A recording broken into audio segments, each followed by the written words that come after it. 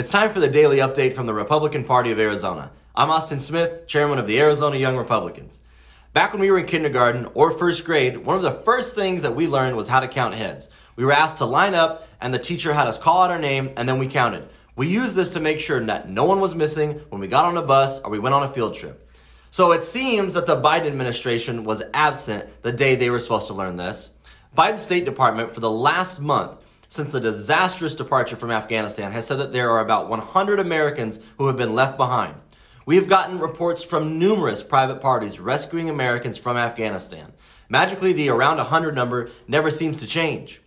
Biden's Secretary of Defense, Lloyd Austin, has a similar problem.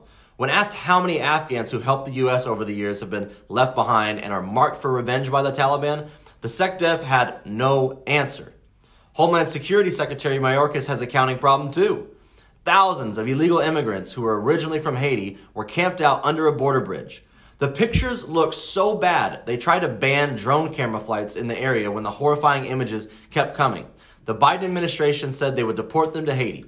Then it turns out they cleared out the camp by releasing them into the United States. How many did Mayorkas say it was? He said 10,000, uh, 12,000. Which one is it? How can he not know? Here's a real number 20% of illegal immigrants coming across the border when tested turned up positive for COVID 19, but no vaccine mandate for them.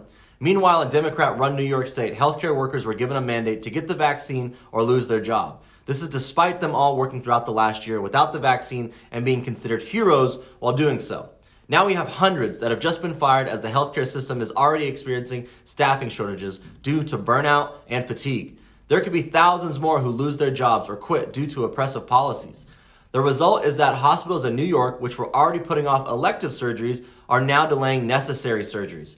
Healthcare professionals cannot be replaced by people off the street.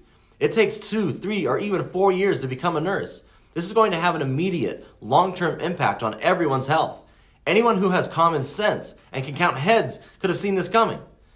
Now we're supposed to trust the Democrats on Capitol Hill that argue about whether 4 trillion or 5 trillion dollars is enough to blow on misguided new spending programs. These Democrats even had the audacity to claim this all will have zero cost. America needs people back in charge who know how to count people and count money.